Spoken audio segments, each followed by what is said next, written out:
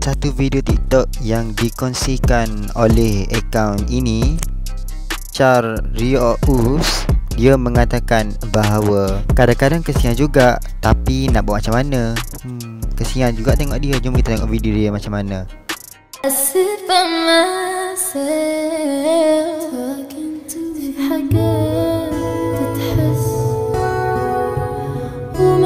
I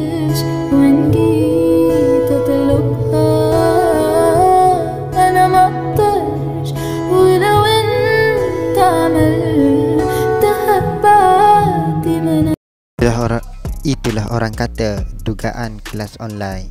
Kadang-kadang orang lain um, rasa entahlah rasa tak penting kot. Mari kita tengok komen netizen macam mana